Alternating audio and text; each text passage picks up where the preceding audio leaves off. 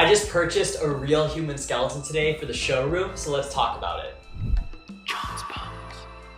Hi everyone, my name is John John and I work with Real Human Bones and today I wanted to let you in a little bit about my experience and what I do with the bones and how I go about acquiring them. So in this video today, we actually just purchased a real human skeleton. We're gonna take you through that entire process from start to finish. So for context, Jon's Bones is an osteological supply company centered around preserving pieces of medical history and raising more awareness about the medical bone trade. Behind me, we actually have a wall of real human skeletons that show the process of skeletal progression all the way from 1850 to 1984. So up to this point, there's nothing being documented about medical history relating to the medical bone trade. So we're really making it our goal to actually write things down, document it, and preserve it so future generations can learn more about osteological education. So behind me is one of the earliest models we've seen of skeletal development, and this one dates back to 1850. After that, this skeleton dates back to 1890.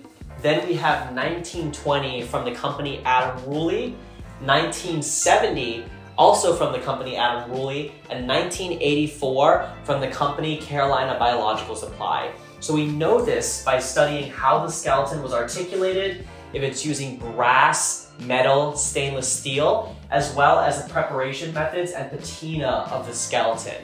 So from cross-identifying known and unknown collections, as well as doing source interviews, research with anthropologists, we've been able to narrow down this history. So this leads me to actually buying this human skeleton today. On our website, on jonsbones.com, we actually have a sell to us page.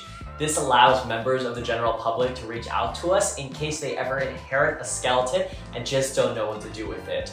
So three weeks ago, a client actually reached out saying that he has a skeleton and we were interested in purchasing it for the showroom. Here at the showroom, we believe in preserving all pieces of medical history regardless of the condition. This one seemed to have a little bit of damage in it when I looked at the photos, but we are still welcoming it here at the Jon's Bones collection with open arms. The client should be here around 20 minutes to drop off the skeleton. We're super excited for this and I hope I don't get murdered. Oh yes. So I'm super excited about this just because working with clients, hearing their stories, hearing how they got the skeletons is honestly the most enjoyable part of my job. So today is something that I'm really excited about. So with some editing, we will have a skeleton here within the next couple minutes. So let's check it out. All right, everyone, the skeleton has arrived. So let's talk about it. So here we actually have a full human skeleton and unfortunately enough, when the client actually brought it in, it turned out the entire skull was shattered and destroyed. And apparently before the person had even acquired it, um, it was destroyed like this. It's such a shame, and I just wanted to raise this up to you guys watching from home. It's our biggest goal to make sure that these pieces are preserved and treated with respect so future generations can learn from it. So seeing the fact that this skeleton had been damaged so badly, it's just such a disservice to this individual who donated their body to science. And I just wanted to bring this up and raise awareness to you guys watching what can happen to skeletons if they're not cared for. Now, I don't think it was this individual's fault because he said it came like this to him when they had acquired it. But this is exactly what happened. And I just wanted to showcase it to you guys. Yeah, so just talking about it, if you look closely, there's actually hot glue all along the cross of this skull and around the skull cap as well as the temporal lobe here. Um, it appears that after this piece had been damaged, somebody had tried to put it back together and did a really poor job at it at best. Um, but now this is all that's left and I just want to showcase this to you guys. It's not uncommon for us to see homemade glue jobs um, when it comes to skeletons that were damaged and oftentimes a lot of the skulls that come into the collection have some sort of glue remnants left on it.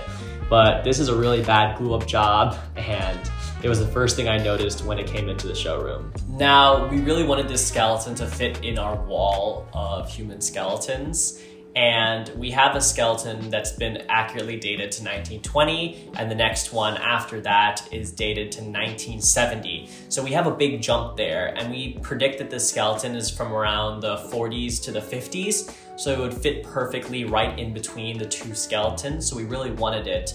So now that I'm looking at this piece, the hook right here or the jewelry that was part of this skeleton, this actually would have been right here on the skull and then it would hook in to actually latch the calvarium cut um, closed.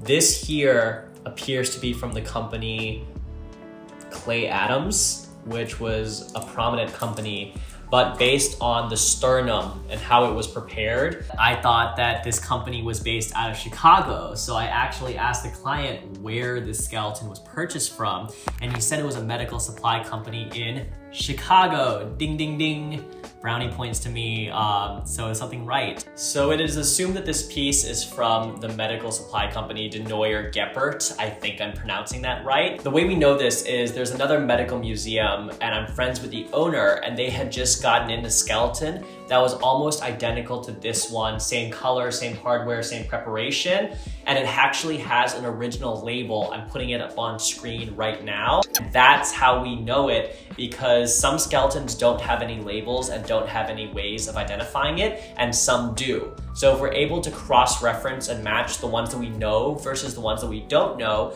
we're actually able to figure out the history of these pieces, which I think is incredibly cool. Um, but yeah, I made that assumption and I'm in the process of figuring out if this is an accurate claim or not. So another couple call outs I wanted to make was it appears that this individual had pretty severe osteoarthritis, which is a condition that can affect the spine.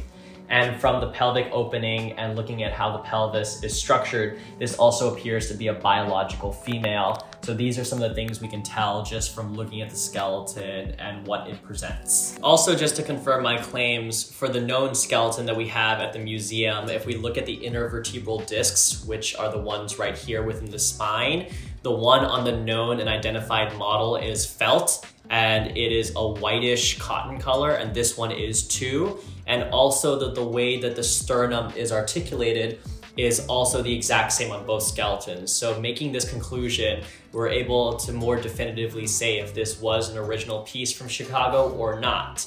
But from being able to also validate that the client got it from Chicago, it almost tells me that this is 100% from this company. And from what I've been able to find, this company still exists today. So it's so cool to find one of their existing skeletons that they had sold from the medical bone trade. So now that the skeleton has come into the showroom, we go through the process of restoration. So I have a special glue that we use in order to tack down some of the teeth and make sure that it's firmly secured onto the skull.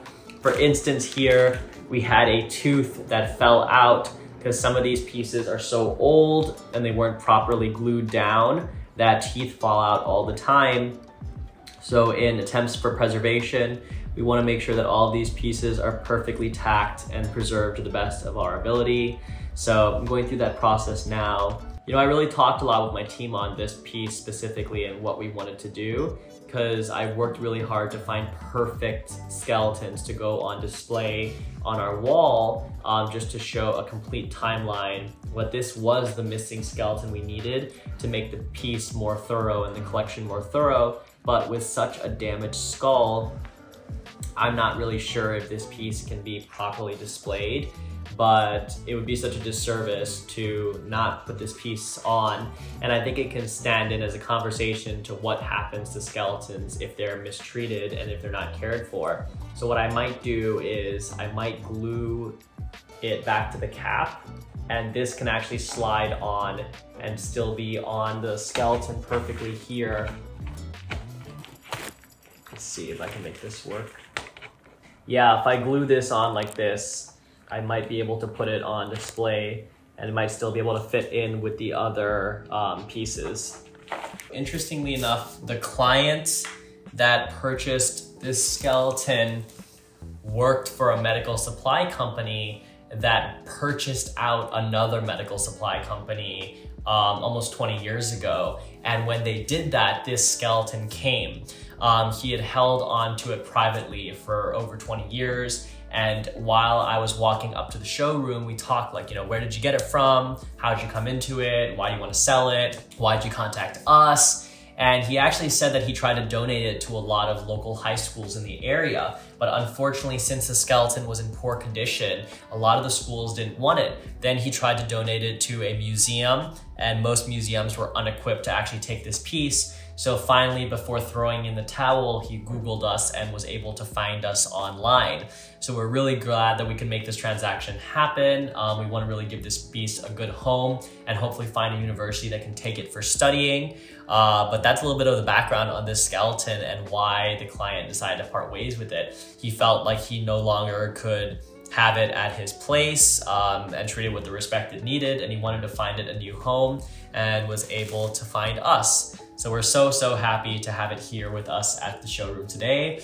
It's just, man, this skull, it's just so upsetting to see this. So I really, I gotta figure out a way that I can get this back together and preserve it to the best of my ability. That's a big part of what we do here is preservation, making sure that these pieces um, can survive so future generations can learn from it. Yes, now that we've made the necessary repairs, let's try to get this skeleton up to take a look at it.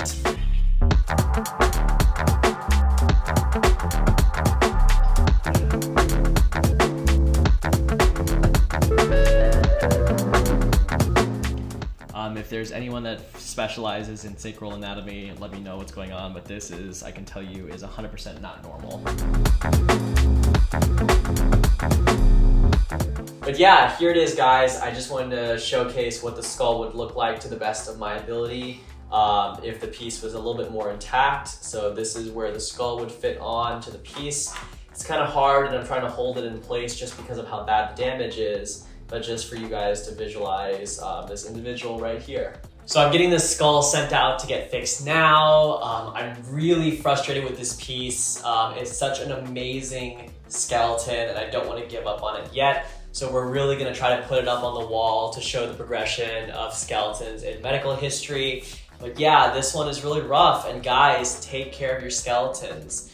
Um, people always talk about respect and making sure these pieces are treated with dignity and cared for. And sometimes once they fall out of circulation, that doesn't always happen. Here at Jon's Bones, it's our top priority to preserve these pieces to the best of our ability. And we really want to take care of them and honestly not give up on them. So I was really torn about this skeleton because actually we've had four Carolina Biological Supply skeletons from 1984. One was missing a finger, one was had a crushed torso, and I've periodically upgraded it so we have the most complete version of each skeleton on the continuum, but this skeleton's just incomplete, so I didn't want to put it up there. But it's just so amazing, and we don't have one to fill it yet, so I think I'm gonna put it up. If you guys wanna see it in future videos, what it looks like on the wall, I'll be sure to show you, but we're not giving up on the skeleton yet. And there you have it, guys. The client was amazing. I'm so happy they were able to actually bring it down and drop it off at the showroom. I wanted to show you guys a little bit of the process of getting a skeleton, how I identify it, what are some of the key characteristics that I'm looking at when identifying it, and what we plan to do with the skeleton going forward. It's really important for us to document it and preserve these pieces. That's why we're doing this video today, so you guys can learn more about the process and the, what can happen to a skeleton if it's not cared for. If you guys wanna help preserve these pieces and help the channel, if you guys could like and subscribe, that would be super helpful for us. We really want to show you guys more content and raise more awareness about the medical bone trade and doing it one day at a time, talking about it one piece at a time is super important. So make sure to follow for more. Ciao, everyone.